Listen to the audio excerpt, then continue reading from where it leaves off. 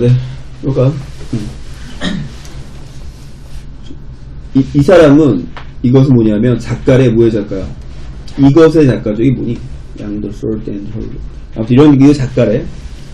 그녀는 태어났죠. 어디서 태어났어? 중국에서 태어났고 이주했는데 미국으로 이주했죠. 뭐 했을 때? 그녀가 아홉 살이었을 때. 그녀는 the only가 뭐죠? The only?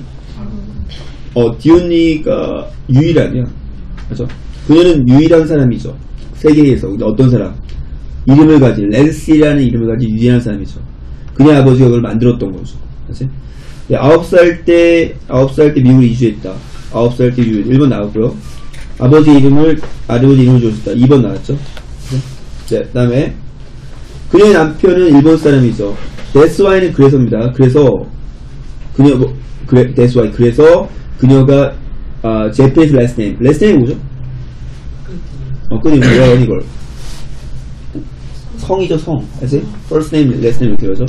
그녀는 관심이 있는데, 일본과 중국 둘 다에 관심이 있죠. 그래서 그녀는 썼는데, 책들을 썼죠. 뭐에 대해서. 그런 장소들에 대한 책을 쓴 거죠. 남편의 나라에 관한 책을 썼다. 뭐, 한번 나왔다고 봐야 되겠지.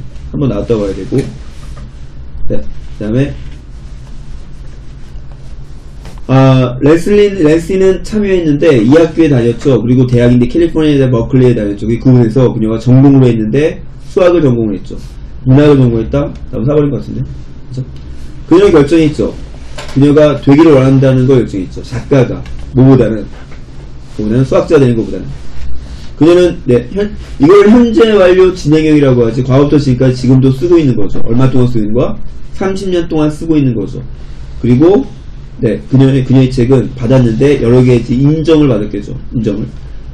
아, 양 패밀리처럼 그녀 책에 있는 이 가족처럼 그녀 사는데 시애틀에 살고 어쨌든 시애틀에 살고 있는 거죠. 그죠? 5번 나왔고 답은 4번.